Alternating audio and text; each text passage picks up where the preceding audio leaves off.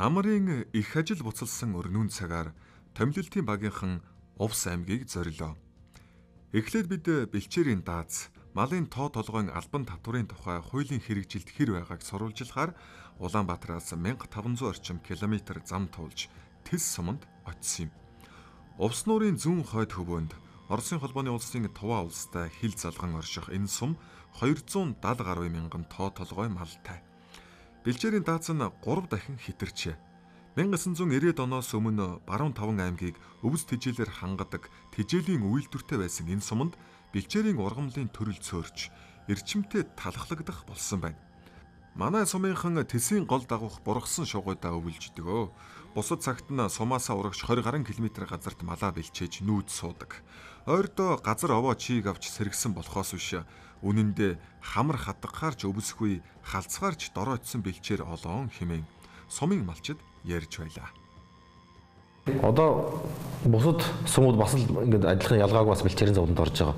Тэгэхээр яг манай сумын нутгийн малчдыг ингээд бэлчээр ашиглуулахаас ер нь харуулсаад эхэлж байгаа. Одоо нь зүүн говь сум гэх чинь одоо манай сумын айл өрхөдийн нутг руу нутг руугаа ингээд оруулж буулгахыг ер нь бол хоригдсан. Урд нь бол ингээд ингээд гурвуулсан гэрээ байгуул явчихдаг байсан. Малчин говь, малчин гэдэг тухайн малчин. Тэгэхээр одоо говь сум ингээд гэрээ байгуулахаа болсон. За тэгэхээр хөдөө тал руугаа бол ер нь бэлчээрийн даацын хувьд бол үндсэндээ бас жаахан талхацсан байдалтай ийм байдалтай байгаа. За мод руугаа тисэн хувьд бол мод руугаа орохоор бол юу ургамлын бүрэлдэхүүн бол арай гайгүй харьцангуй сайжирсан тийм байдалтай байгаа. Бэлчээрийн доройтлоос болж саахал дайлынхан хүртэл хоорондоо муудалцахтаа хүрсэн өнөөдрийн нөхцөлд малын тоо толгойд татвар тогтоох нь зүйтэй гэж энэ сумынхан дуу нэгтээ дэмжиж байна. Өнгөрсөн сарын 1-ээс малын тоо толгойн татвар авч эхэлсэн. Ганцхан сарын дотор Увс аймагт 122 сая төгрөгийн татврын орлого бүрдээд байна. Тэс сум энэ жил 50 сая төгрөгийн орлого төвлөрүүлэхээр тооцсон. 10 орчим сая төгрөг нь аль хэдийнэ цуглжээ. Тэгээд аялын хэсэг маань нэг 400 бас нэг 500 өрхөөс санал асуулга авсан юм байлаа. Түүний дундаж нь болохоор тэрэн дотор малын хөлийн татвар ер нь авах нь буруу бид нар өгөхгүй нэг нэг ч хүн хэлээгүй. Аваад бидэрт хэрэгтэй юм гэвэл бид нар ингээд өгөхөд бэлэн байна. Хэдич хэдийч өгөхөд бэлэн байна нэр нь. Тий, тий 100 дэмжсэн. Тэгээд малын хөлийн албан дотрын одоо адуу мянга Юхэр 700, Тэмээ 500, Ямаа 300, Хонь 200 гэсэн юм малчтаас ирүүлсэн цамдыг дундэлж үзэх юм байдлаар тогтсон байгаа. Адуу бол мянгаар тогтсон байгаа. Ягаад гэвэл бас бид нар энэ дээр ерөнхийдөө манай сумын адуу нэлээд өссөн. Тийм илчээрний бас сөрөг нөлөө ихтэй учраас бид нар адууныхаа доторынх нь энэ дээр тавья гэдэг утгаараа энэ дээр гарсан. Тэмээг бол 500 төгрөг тавьсан. Ягаад гэвэл бас манад тэмээ нэлээд цөөрч байгаа. Бас энийг бас дэмжиж гэдэг утгаараа юмсан. Энэ жилийн хувьд 500 төгрөг тогтоосон байгаа. Цаашдаа бидний зорилго бол тэмээгийн тэглийг модалтай байгаа. Тэс сум иргэдийн төлөөлөгчдийн хурлаараа хэлэлцээд нэг малд 300-аас 1000 төгрөгийн татвар ноогдуулсан байна. Үүнээс хонь яманд ноогдуулах татвар 300 төгрөг. 400 толгой хонтой айл байлаа гэж бодоход жилд 120 мянган төгрөгийн татвар л ноогдохоор байна. Ерөөс ачаа болоод байх юм алга. Ингэж байж л бид хэсэгхэн газраа сэргээж үлдэн шүдэ хэмээн сумынхан ярьж байлаа. Малчтаас цугласан татврын мөнгийг зөвхөн бэлчээрээ хамгаалах, малаа эрүүлжүүлэхэд зарцуулах юм байна. Манад 344 толгой малтаа болсон. Тэгэхээр манад нэг 136 төгрөгийн 136 мянган төгрөгийн татвар гарсан. 136 мянган төгрөг гэдэг чинь ноолуртайхан манай тэсийн сэркас бол нэг л яманаас гарч ирдэг юм. Малчдын хувьд бол би тэр татврынхаа мөнгнөөс өөрийнхөө хадлангийн талбай бэлчээрийг өсчүүлэх ажил хаврын шараас нь үеэр тэгээд зүвний үед бүлэг шандынхаа нэгийг хамгаалах хайрлах. Одоо энэ бид нэр энэ газар шороон дээр амьдарч ямар нэгэн амтны газар шороо энэ тэнгэр хоёрын энэ бодит хүчин дээр амьдардаг учраас энэнийг л хайрлаж байгаа бол бид нэр аз жаргалтай сайн сайхан байна гэдэг юм бол ойлгомжтой. Дөрвөн цагийн өдөр дураараа нөх нүтгэдэг гэдэг шиг тэр дураараа нөөж нөөдөлч чинь өнөөдөр малчтлаа. Тэрний тэгж явуулаад энэ татвар аваад явж байгаа дарамтлаад байгаа тийм орчин байхгүй шүү дээ. Энэ жилийн үед тэр малчтаас ирүүлсэн саналын дагуу малынхаа эрүүл мэндэд эхлээд анхаарья гэдэг үднээс арбан одоо ч манайш арбан багта үүний хоёр багийн дунд нэг таван ширхэг угаалгын байна. барина гэж тооцоолоод энэ татврын мөнгийг одоо тэрэн зарцуулахаар төлөвлөсөн байгаа. Цаашдаа ч малчид малаа чанарж уулж хоёр малаас авах шимийг нэг малаас авахад сум орон нутаг бодлогоо чиглүүлж байгаа юм байна. жилд олох орлого ашиг шимигийн хурдтал болгоё гэсэн. Одоо жишээлбэл хургыг бид нар чинь төлөг болтол 2 жил болж аж ершийн хурдтал хургыг 5 дахь сургын намар нь засалд оруулаад төлөвний хэмжээний ашиг хүртдэг боломж байна уу гэдгийг судалж явж байгаа. Тэгээ энэ дөр үрдэн байвал бид нар цаашдаа сумдын менежментийг хэрэгжүүлэх гэсэн зорилгоор л ийм байдлаар оруулж явж байгаа. Ийхүү Монгол улс анх удаа малын тоо толгой бүрээс татвар авах хуулийн зохицуулалттай болсноор малчид мянгад малчин болох гэж уралддаг биш. Цөөн малаас илүү ашиг шим авахд анхаарч дор бүрнээ улам хариуцлагатай болж эхлэв.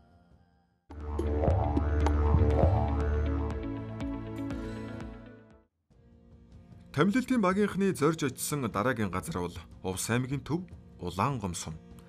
Аймгийн төв Улаангомд буувуу үгүй юу чацрагны үнэр сэн хийж ургацын их ажил биднийг огтлаа. Чацрагны орон гэгддэг энэ нутгийнхан ургацаа хураагаад эхэлжээ. Тармил чацрагныг амсаад үзэхэд учиргүй хамар цоргиулаад байхгүй. Чихэрлэг идэхэд таатай амттай ажээ. Увс аймаг чацрагны 600 га талбайтай. Үүний 500 га талбай нь дангаараа аймгийн төв Улаангомд байдгийн байна. Хөдөлмөрлөж хөлсөө туслуулбал газар өр шимээ харамгүй өгдгийн жишээг харуулж байгаа айлын нэг бол Ням самбуугийнх. Эднийх нэг га талбайд чацраган тариалаад 20 орчим жил болжээ. За танаа талбайд хичнээн сортын чацраган ургаж байна. Манай талбайд одоо 3 сортын чацраг ургаж байгаа. Орсын сортууд гэж орж ирсэн. Чацраганы гарц хэрэг байна. Ер нь жил болгоно нэг 8-аас 10 тонн авчна. Ер нь нэг га нэг гаагаас бол ер нь хүний авч болох боломжит чацрагныг ер нь аваад байгаа.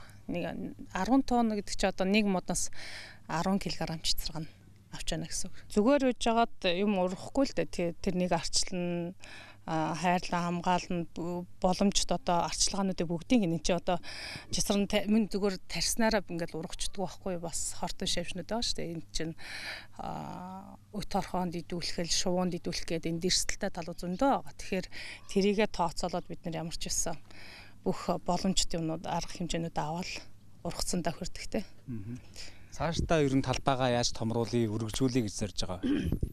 Яг би болохоор яг үнэхээр бүл дөө.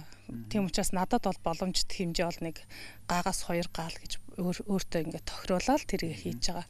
Тэгээ жаахан бүл нэмээд ажилч аваад хийх юм бол хідэн гаач ингээд ажиллах боломжтой. Би бизнесээ хийж бараагаа татчихад под хийсэн ашиг хүртээ цууж болох л байсан. Гэхдээ өөрийн гараар юм бүтээе гэсэн хүсэлтэд хөтлөгцөөр өдийг хүрлээ. Энэ хэдэн модоо харахаар цаанаасаа л сэргээд ирдэг шүү хэмээн баясгалан бидэнтэй хөөрөлдлөө. Өнөөдөр увсад хашаандаа жимстэй айлал ашиг хүртэж байна гэвэл түүн шиг худлаа юм байхгүй. Ургац сураалтын үеэр овоо хідэн ажлын байр бий болчих нь таримл чацраг нь байгалийн зэрлэг чацрагныг бодвол мод бутандаа багц багцаараа саглаан ургадаг. Гэхдээ гараараа түүх гэж овоо чимхлүүр ажилтай байдаг юм байна.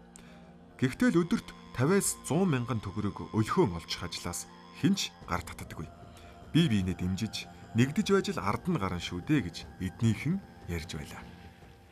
Хураалт бас хүмүүс аваад хураалгаж байгаа. Тэр чинь нөгөө талдаа бас ажлын байр бий болгож байгаа шүү дээ тийм. Ажлын байрууд бол энэ чи бол хаварт бол манай Увс аймагт нэлээд бий болдог. За жишээлбэл манайх чи одоо нэг га талбад 10 тонн жим сураалаа гэхэд энэ мянгаар төлөглөх чинь 10 сая төгрөгийг яг арт түмэнд ингээд тараад өгч байгаа байхгүй юу. Тэгэхээр ерөнхийдөө намрын үед бол ус аймгийнх нь бизнесийн одоо төр ажлын байргүй байгаа тэр хүмүүсийг ингээд яг ямар ч байсан хөрхөө ажлын байр хангаж төр ажлын байр нэлээ олон бий болцсон. Одоо бараг хүмүүс нь жимсээ түүж хүч хүрэхгүй шүү дээ. Нэг 4 4 сар 5 сараас эхлээл одоо 9 10 сар хүртэл бид нар ажил хийж байгаа байхгүй юу. Тэр хооронд хөдөлмөрөөр ингээд үнэлэхэр чинь яг гоо бид нар баг төрд ажилласнаас хэддэхээ илүү цалингийг эндээс олоод авчиж байгаа байхгүй. Тэгэхээр бол цаг хугацаа яаж вэ? Тэгээ өвөлд нь хөөхөн амарчж байгаа байхгүй. Бас нэг өөрийгөө амраагаад. Тэгэхээр ерөнхийдөө бол чицрын тариалт бол ер нь боломж юм. Манай усад бол ер нь ургахгүй газар баг байхгүй. Улаангомд хэд алхаад л эднийх шиг хашаага ногооруулсан хөдөлмөрч айлтай тааралдана. худалдаж борлуулж хаад мөнгөө тоолоод суухгүй ч дэлгүүр ороод жимс хайж явхааргүй нь олон болжээ. Хашаатай айлуудын 60 орчим хувь нь үхрийн нүднээс авахуулаад хид хідэн сортын жимс тариалсан байна. Жимс имсгэн бол үнэхээр одоо Ус аймгийн хувьд бол чацархан бол Ус аймгийн нэр нүүр одоо брэнд болж байна. Чацархан байж байна. За тэрний цаана бол бас нэг нууцхан мэдгэдэггүй ч гэсэн нэлээд хүмүүс амжиргаад тус тийм болдог нэг жимсийг бас ус ус тариалдаг. Энэ бол үхрийн нүдгээд тармил үхрийн нүдийг тариалдаг байж байгаа.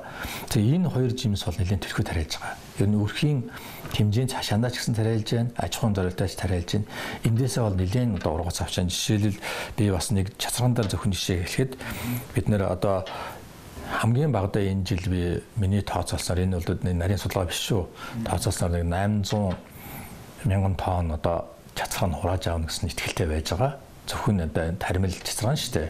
Тэрнээс гадна байгалийн чацраг байж байгаа тэрийг бид нэр тооцохгүй байж байна. Тэр бол нэлээд сайн ургасан гэсэн энэ жил. Тэгвэл эндээс одоо ингээд 800 тонн чацраг нь авчгараа зэрэг тэр хүмүүс жилдээ одоо өрхтөө ямар орлого болж байгааг нь зөвхөн нөгөө 5000-аар зөвхөн үйлдвэрүүд зарчих юм бол энэ бол 4 тэрбум төгрөгийн орлого орж ирж байгаа байхгүй 4 тэрбум төгрөг.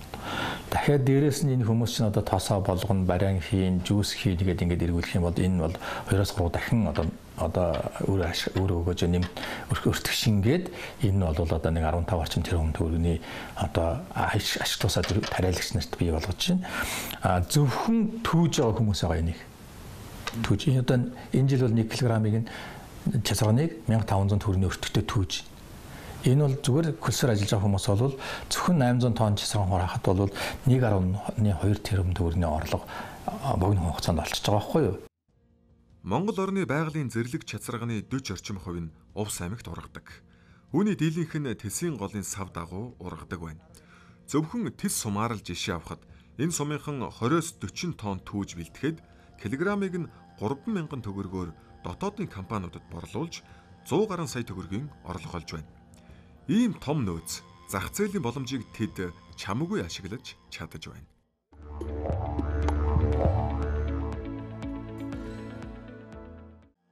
Увсынхан дан ганц бэлтгэн нийлүүлэгч биш. Үйлдвэрлэгч, инновац нэвтрүүлэгч болжээ. Бүр болоогүй. Дотоодын зах зээлээ хангаад гадаад руу экспортлох том зорилт тавьсан байна. Ганц нэгээрээ зах зээлд танигдах гэж махарч байснаас хэд гурваараа нийлээд кластер болж ажиллахын давуу талыг олж харжээ. Увс аймгийн брендийн зөвлөл байгуулж бүтээгдэхүүнийхээ чанар, сав баглаа бодлыг сайжруулж эхнээсээ худалдаанд гаргаж амжсан байна. Ер нь бол цаашдаа бид нар экспортын чиг баримжаатай бараа бүтээгдэхүүн үйлдвэрлэж байгаа юм чинь нийтлэх нэртэй байя. Заавал одоо энгийн нэртэй биш тийм ээ. Тийм үүднээс бид нар уус UBC буюу уус бизнес кластер гэдэг одоо гурван үгний товчлоор UBC гэдэг нэртэй бэрээ эндийг одоо гаргаж ирээ хөгжүүлж ажиллаж байгаа. За 27 төрлийн бүтээгдэхүүнийг хөгжүүлэх одоо боломжтой гэж одоо манай аймагт харж байгаа. За эндээс эхний ээлжинд одоо дөрвөн төрлийн бүтээгдэхүүн таахан харж байгаа 13 л чацарган жамц тавс цагаан идэ гэсэн дөрвөн төрлийн бүтээгдэхүүн хөгжүүлэхээр ажиллаж байгаа. Ийм байсан 13-ыг бид нэр ийм одоо болгож байгаа л да. Тэгэхээр энэ маань юугаар өөр юм бэ гэхээр нэгдүгээрт нь нэгдүгээр ээлж нэгдүгээрт нь энэ UBC брэндийн лого тавьснараа зөвхөн нэг сав багла бодол дээр нэг лого зүйл тавьж байгаа ерөөсөө биш хэвгүй. За UBC брэндийн логог тавьж гэнэ гэдэг маань энэ бол стандарт хангасан бүтээгдэхүүн байна. Стандарт нөгөө хүнсний аюулгүй байдал, сав багла бодлоо аюулгүй байдал стандартууд хангацсан. Нэгдүгээрт нь, хоёрдугаарт нь бизнесүүдийг одоо кластераар нэгтгэгдсэн. Жишээлбэл энэ 13 гурилд 10 шим, газар шим, алтан төрүү шим, хонхон хоо, мөнх хархираа гэдэг ч юм уу те. Эдгээр одоо нөхөрл оршоонууд нэгдээд энэ одоо 13-ыг бий болгож байгаа кластер чицганы тос анх бол нэг халвган дээр ингэ дуушдаг гэсэн. Одоо ингэ нэг капсултай болгочхороо одоо хэрэглэхэд амархан тэгээ нэг хүүхд мөхт ингэ а толоо жууж чаддгүй шууд энийг залгидчих юм те. Одоо ийм одоо болгочихсон байна. Тэгэхээр ингэхээр нөгөө чизэрганы анхны өртөх маань 20 дахин өсөхөд боломжтой. Энэ мэдчлэн бэлчээртэй таарсан таваарлаг малаараа ашиг хүртэх боломжиндоо таарсан жимс чимсэг нь тариалахын чухлыг Увс аймгийнхан илүүтэй олж харж орон нутгынч бодлогоор дэмжиж байна.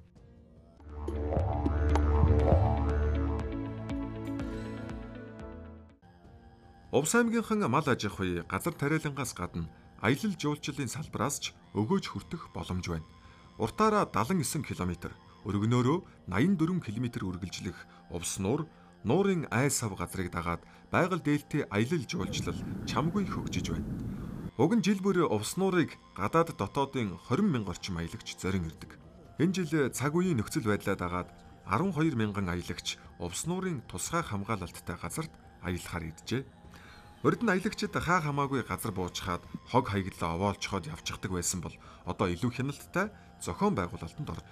Улаангом сумаас 30-аад км давхиад очиж явдаг энэ газарт отоглох цэг байгуулж өгснөөр аялагчид илүү хариуцлагатай болжээ. Одоо энэ хяналтыг та бүхэн яаж тавьж жуулчдыг ирэхэд ямар заавар зөвлөгөө өгч А хяналтыг тавьд бол одоо тэнд нэвтрэх пост гэж байгаа. Нэвтрэх пост оронгуудад 300 төгрөгийн хурамж аваад тэнд дээр одоо хог хог хог хаягдлаа хаяхгүй шүү. Тэнд боловсон нойл дүүшин ажиллаж байгаа. Тэнд машины зогсоо машины зогсоол дээр тойроо. Тэгээд цааш эргээд отглох цэгийг ашиглаад аяд тогтоо сайхан зугаалараа гэж бид нэг хяналт зугаалж тавьж байгаа. Аялагчд бол үндсэндээ машинтайгаа бүр нуурдаа тулж очдөг.